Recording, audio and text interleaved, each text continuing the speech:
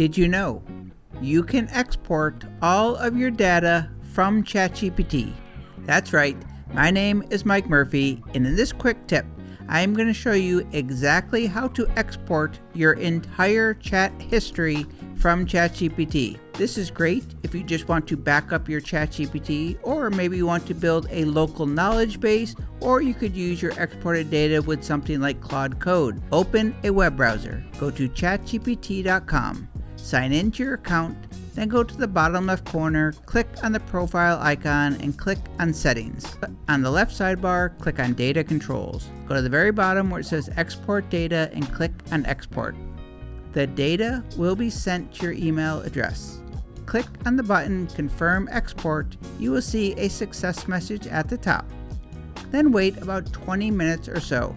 You will receive an email from OpenAI in the email, just click on the download link to download your data.